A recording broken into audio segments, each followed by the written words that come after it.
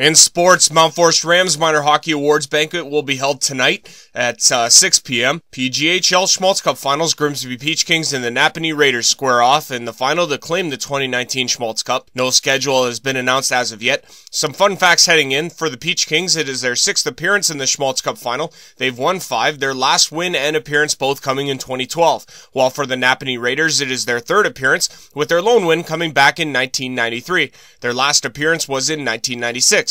They have yet to lose so far this postseason. GOJHL Sutherland Cup semifinals, two games tonight. At 7 o'clock, Niagara Falls hosts Waterloo, trailing 2-0 in the best of seven.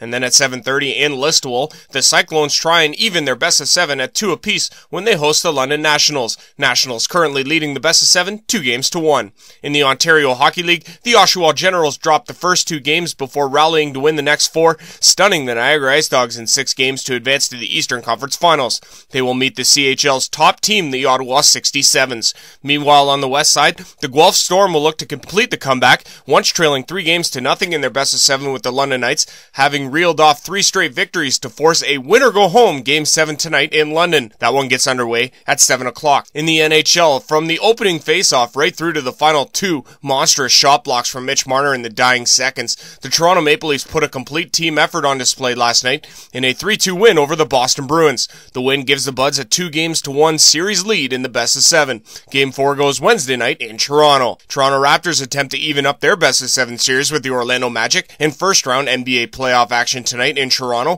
Raptors dropping game one back on Saturday. Tip off tonight is at 8 o'clock. Kyle Lowry looking for redemption after being held scoreless in game number one. Finally, Toronto Blue Jays earned a 5-3 victory over the Twins yesterday. Battle again today in Minnesota. Game time 740. That's all for sports. I'm Andrew Rodgers for 88.7 The River.